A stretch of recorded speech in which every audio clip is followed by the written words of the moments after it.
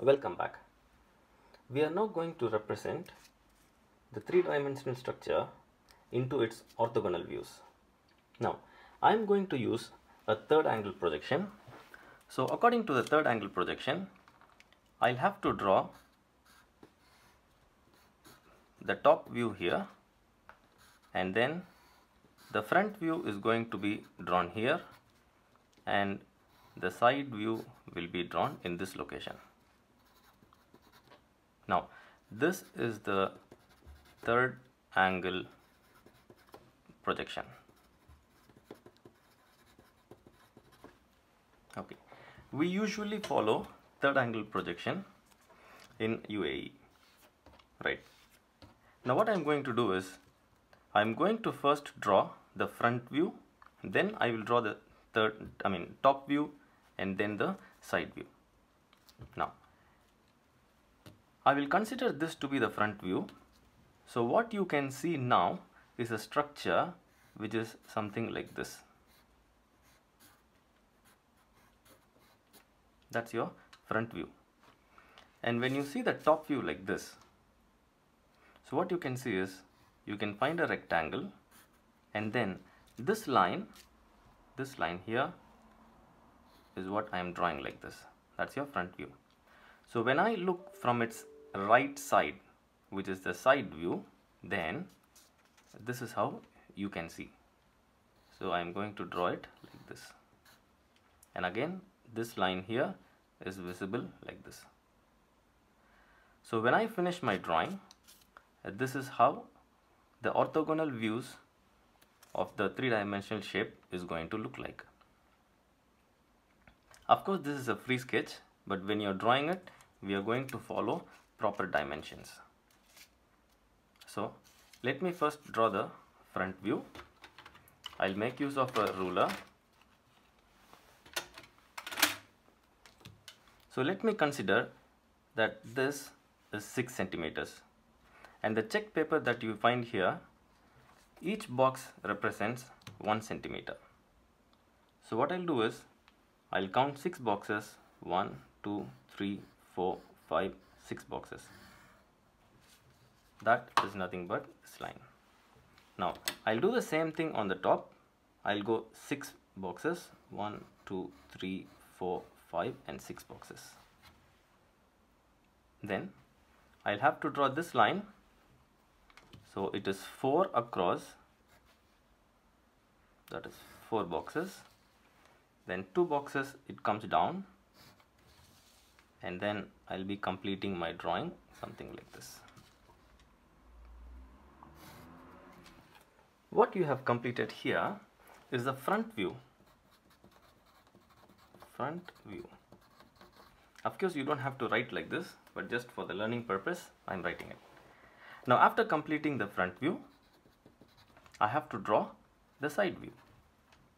Now the gap between the front view and side view has to be 20 millimeters. Likewise, the gap between the front view and the top view should also be 20 millimeters. That's by default which you have to maintain. Now I am leaving two check boxes which is 2 centimeters or 20 millimeters and then I am going to draw the right side view. So when I view from this side, this is how it appears. Once you have drawn the front view, we don't have to measure it anymore again because I can project this line like this and this line I'm just going to project like this. So what I'm doing now is I'm drawing drawing all the horizontal construction lines.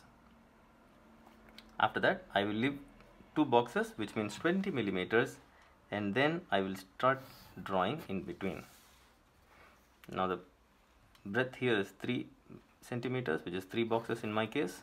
So I am drawing it like this then draw the vertical line and then finish off with the horizontal line which goes on the top.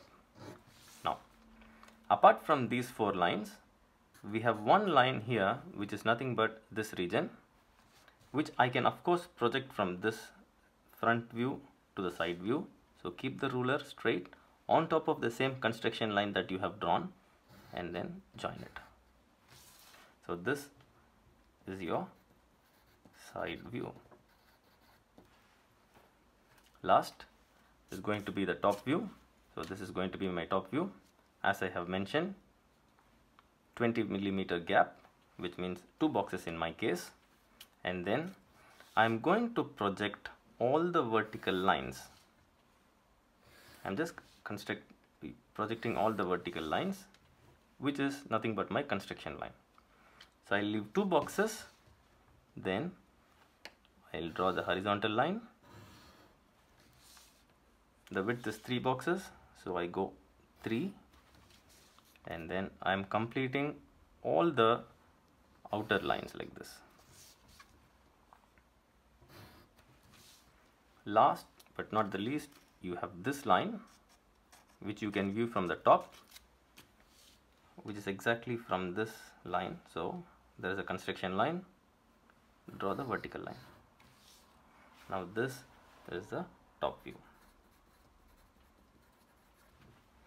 So what I have just done is we have taken a three-dimensional structure. We represented this three-dimensional structure into two dimension. Summarizing what we have done, we have just represented the 3D model in its three orthogonal views, which is the top view, front view and side view. And we have represented it in a third angle projection. So as it is a third angle projection, we had our front view in this location, top view was in this location and the side view was drawn in this location. If the same drawing was to be drawn in first angle projection, everything remains the same except for its positions. So in a first angle projection, the top view will be here. The front view will be in this location and the side view is going to be in this location. So this is the only difference. As it is, the structures are going to be the same. Only the location where you draw is going to change. Having done this, let us move on to the next drawing.